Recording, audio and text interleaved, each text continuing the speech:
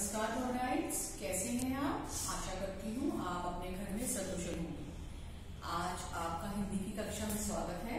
हिंदी की कक्षा में आज हम करेंगे विलोम शब्द। विलोम का मतलब होता है उल्टा, ठीक है? जो शब्द हम लेंगे, उसका उल्टा क्या होगा? वो हमने आज करना है। तो मैंने बोर्ड पर पहले तिथि लिखी है, जैसा कि आप सबको पता है, कार्य करने से पहले आप तिथि लिखते हैं मतलब डेट जो है और दिन लिखते हैं मतलब सप्ताह का जो दिन, जिस दिन आप कार्य करते हैं, वो दिन लिखेंगे। और बीच में लिखेंगे आप ग्रह कार्य। उसके बाद हमने जो कार्य करना है, हमने उसका नाम लिखा आज हम विलोम शब्द कर रहे हैं तो हमने यहाँ पर लिखा है विलोम शब्द तो चलिए, आइए हम आज विलोम शब्द करते हैं। मैंने यहाँ पर सब शब्द लिख लिए हैं। जो शब्द मैंने यहाँ पर लिखे हैं तो हमने उनके विलोम शब्द लिखे हैं मतलब जो शब्द हमने यहाँ लिखे उसके जो उल्टे होंगे शब्द हम वो लिखेंगे ठीक है पहला शब्द है अमीर और उसका विलोम शब्द क्या होगा? गरीब।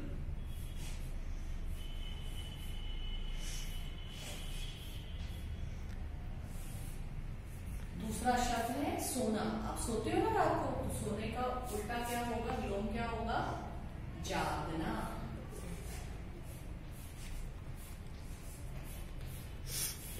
तीसरा शब्द है गरम। सर्दियाँ हैं तो गरम गरम दूध पीते हो और सर्दियों में क्या करते हो? ठंडा दूध पीते हो तो गर्म का उल्टा होगा ठंडा। ठंड न की आवाज़ आ रही थी रही। उसके बाद पास। पास का विलोम क्या होगा? दूर अगला शब्द है छोटा। छोटा का विलोम बड़ा।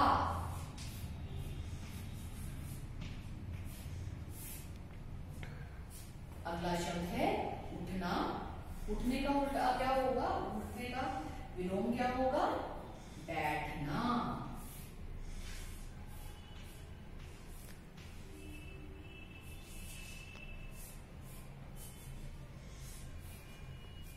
अगला शब्द है भला। कोई अच्छा काम करते हो और अगर अच्छा काम नहीं करते तो उसका उल्टा क्या होता है? बुरा। भले भले का उल्टा होगा, विलोम होगा, बुरा। ठीक है? ये हमारे सात विलोम शब्द हो, अब हम अगले पर आते हैं। हमारा अगला शब्द है उतरना। सीढ़ियाँ उतरते हो और जब ऊपर जाना हो तो क्या करते हो? चढ़ते हो। तो इसका विलोम होगा चढ़ना।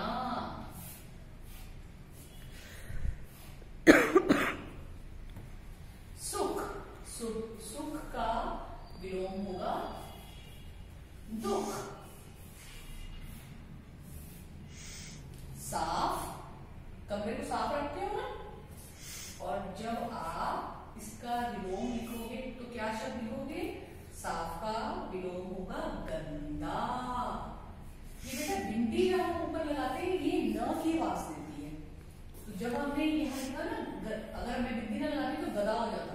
तो हमने बिंदी लगाई तो ये न की आवाज़ निकाल रही है। तो ये बना हमारा शब्द गंदा। हंसना। हंसना का विलोम होगा रोना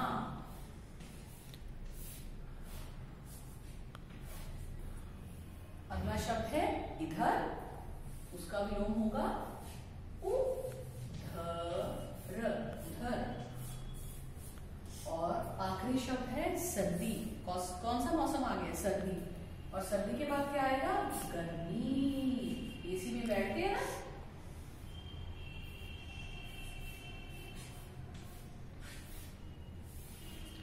इस प्रकार आप विलोम शब्द करेंगे और उनकी बार बार प्रैक्टिस करेंगे, उनको दोहराएँगे। ठीक है? धन्यवाद।